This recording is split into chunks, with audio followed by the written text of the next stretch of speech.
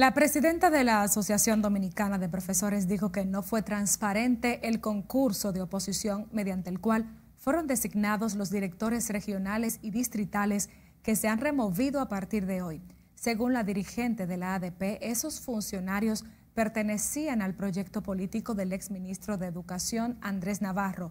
Explicó que cuando la iniciativa fue anunciada en el 2017, saludó la medida, pero el proceso no fue transparente.